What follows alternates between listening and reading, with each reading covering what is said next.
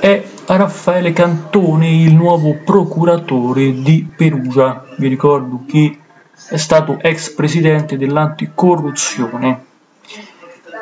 A favore di Cantone hanno votato diverse toghe progressiste di Aria e laici di tutto lo schieramento politico ed è la prima volta che accade in questo CSM, Consiglio Superiore della Magistratura.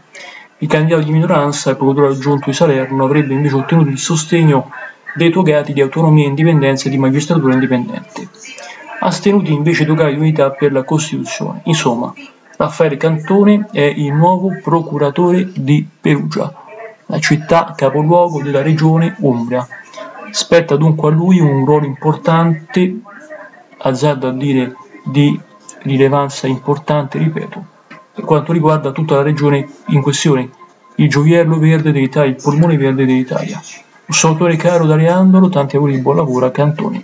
Questo video non vuole rendere la sua privacy né di altre persone, ma informare basta. Nasce solo per questo motivo, non per altre ragioni.